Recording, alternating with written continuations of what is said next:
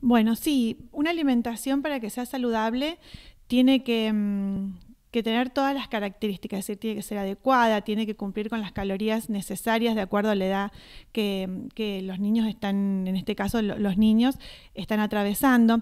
Entonces se deben siempre este, incorporar alimentos que sean beneficiosos para su salud. Este, una alimentación adecuada es eh, hacer las cuatro comidas diarias, empezar el día con un buen desayuno. Este, después las colaciones a media mañana, media tarde, el almuerzo, la merienda, la cena. Este, los niños deben tener em, un buen aporte de, lácteos, de calcio, porque son aportes de calcio, porque son necesarios para su desarrollo a nivel óseo, está en una etapa de crecimiento, entonces es muy importante este mineral. El, calcio se encuentra principalmente en la leche, en los quesos, en los yogures. Entonces una alimentación este, adecuada este, debería ser em, incorporar dos tazas de leche a lo largo del día con alguna infusión, con té, café, mate cocido, cocoa, con cualquier infusión, eh, dos tazas de leche. Lo que se recomienda es empezar con un buen desayuno. Los niños tienen muchas actividades, van al colegio, después tienen deportes o tienen un día este, muy largo y muy intenso. Entonces se recomienda empezar con un buen desayuno para obtener bien todas las energías. Este, pan, manteca, dulces, este, mermeladas, este, se le puede agregar cereales, mucho mejor. ¿Cereales de qué tipo? Cereales en formas de copos, cereales arroz inflado, este, maíz, avena, este, esos nueces, almendras, frutos, secos, también, también están buenos. Hay que ver de acuerdo al gusto de los niños y la situación económica también.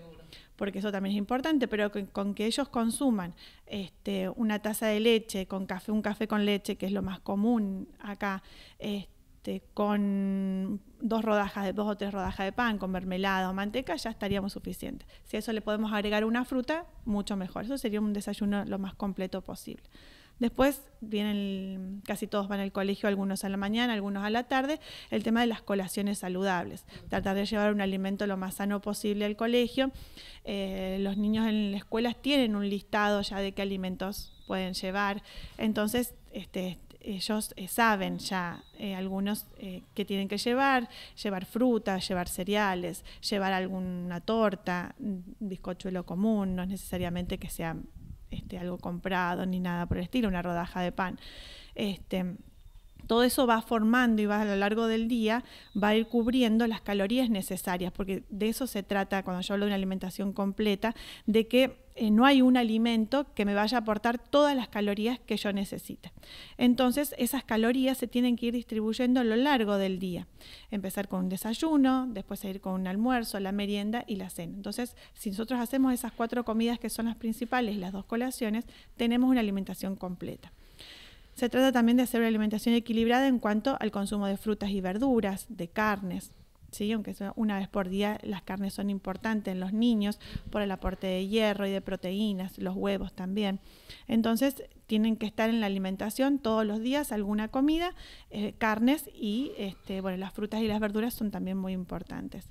Ahora que nombras eh, las comidas, bueno, más saludables, ¿no? Eh, y beneficiosas para la dieta y el día a día, ¿cuáles son los alimentos, entre comillas, prohibidos para los niños? es decir, aquellos que no son favorables en el devenir de, la cotidianidad.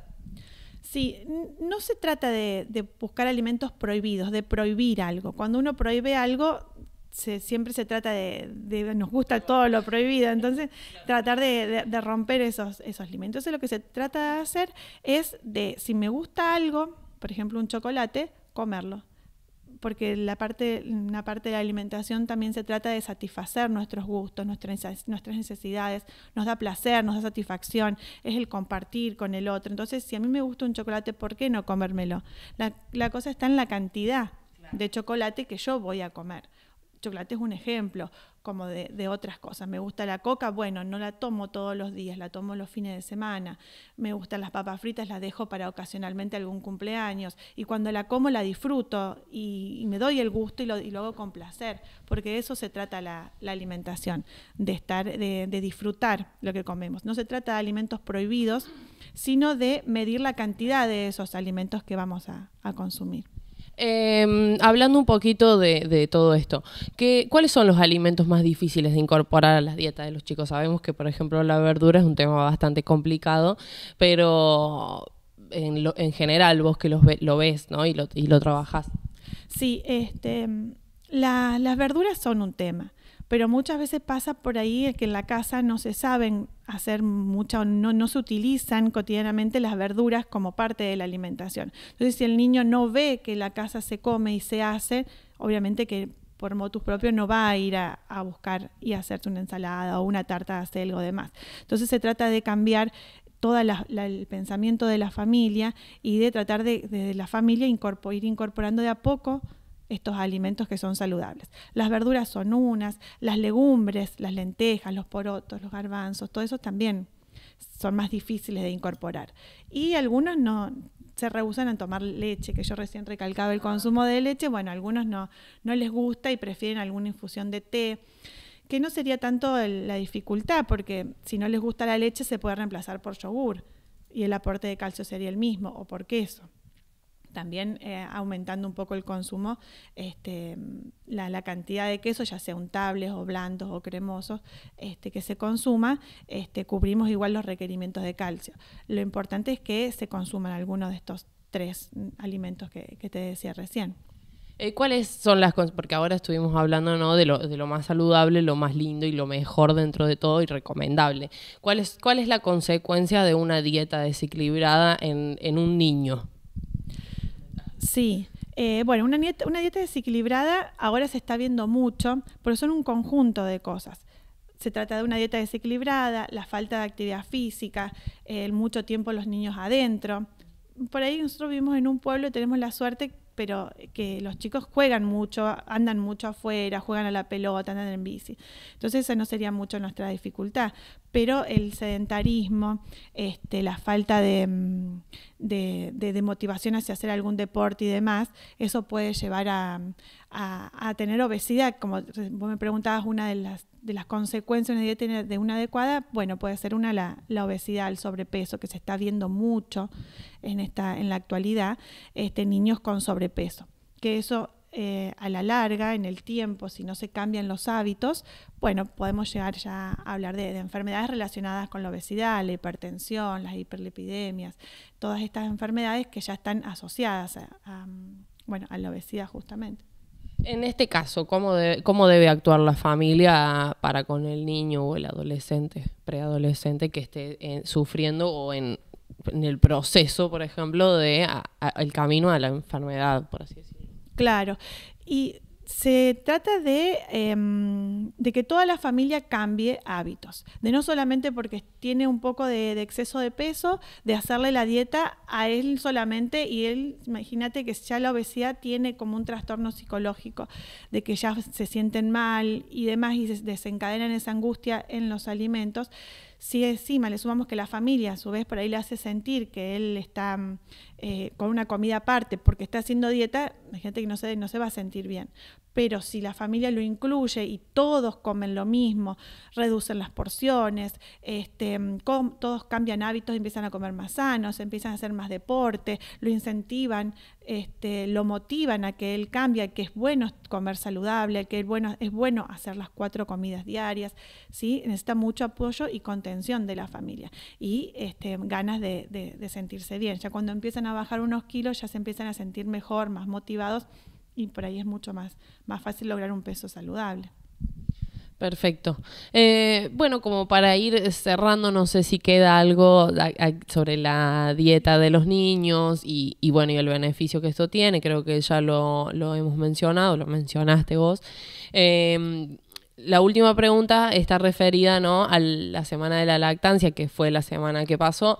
Y bueno, también estuvimos hablando con la doctora eh, que nos comentó eh, la importancia ¿no? de la lactancia en, en, los bebés. ¿Cuál es para vos la importancia de la lactancia materna y cuáles son los pros y los contras que eso deviene? La lactancia materna es un acto de amor y, de relación y de conexión con el, con el bebé que es único y es para disfrutarlo y, si es súper recomendable que todas las mamás lo puedan hacer. durante las primeras horas de vida del bebé es muy importante la, primera em, tomada, digamos, del bebé a la teta, el calostro, que tiene este, muchas este, proteínas y, nutrientes que son muy importantes para, su desarrollo, para su sistema inmune y demás. Y después a lo largo de toda, de toda su vida, de toda su vida, hasta los dos años, digamos, que es lo que se recomienda. Eh, la lactancia materna se recomienda que debe ser exclusiva a partir de los, hasta, hasta los seis meses de edad y a demanda, es decir, que no le voy a dar este, cada dos horas, sino cuando el bebé quiera y tenga ganas de tomar teta, hay que ofrecerle la teta. El bebé se calma, se siente más tranquilo, este, es una conexión que tiene con la mamá, afianza el vínculo, eh, a la mamá también le, ayuda a, estar más en contacto, a, entenderse con esa nueva persona que está que está, que está criando. Entonces son muchos los, los beneficios, eh, son más beneficios que, que contras, digamos. Eh, y después a partir de los seis meses, cuando ya se empiezan a incluir los alimentos, gradualmente, de acuerdo a la edad madurativa del bebé, bueno, hace que la lactancia este, sea un complemento de esa alimentación. En algunos casos se, puede complementar con, leche de fórmula, pero en otros casos con la alimentación complementaria más la, la lactancia materna se cubren bien los requerimientos para el desarrollo de ese bebé. Y se recomienda hasta los dos años. Así que hay que tratar de, cumplir eso porque es muy, muy importante para, para, el desarrollo y el vínculo que tiene la mamá con, ese bebé. Y en el caso de las, aquellas mamás que no pueden amamantar por diferentes motivos, porque calculo que es algo normal, eh, ¿qué podemos hacer? ¿A qué podemos recurrir? ¿O cuáles son los métodos ¿no? a seguir? Sí, este, porque muchas veces pasa eso, se insiste mucho en la lactancia materna, en la lactancia materna y aquellas mamás que no pueden por diferentes circunstancias, como puede pasar, se sienten frustradas y se sienten mal.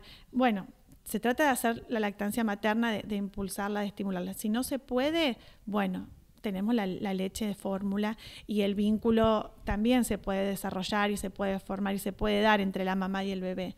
Pero este, mm, eh, no hay que ponerse mal ni deprimirse ni nada, sino que bueno, existen otros alimentos que son las fórmulas este, que bueno, que lo van a alimentar igual y la relación, la conexión, si lo pone cerca y demás, lo puede, la puede llegar a, tener igual. Las fórmulas, las leches de fórmulas tienen las mismas proteínas que la leche materna, sería prácticamente. Sí, se trata de, las fórmulas tratan de igualar a las características de la leche materna, sí. sí.